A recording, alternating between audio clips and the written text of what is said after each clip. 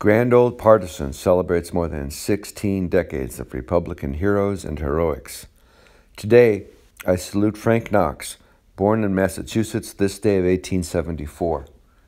The young patriot fought as a Rough Rider in Cuba during the Spanish American War.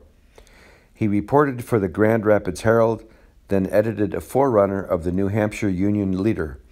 He served as an artillery officer in France during World War I.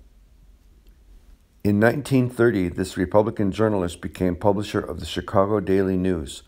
Knox was the GOP's 1936 vice presidential nominee. As another world war approached, he urged strengthening the military.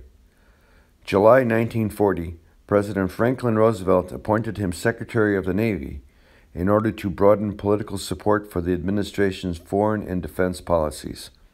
On the negative side, Knox favored internment of Japanese Americans and banned them from enlisting in the Navy.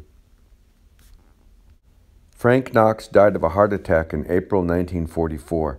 He was buried at Arlington National Cemetery.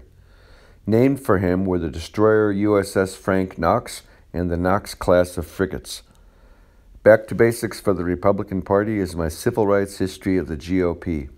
To quote the book, the more we Republicans know about the history of our party, the more the Democrats will worry about the future of theirs.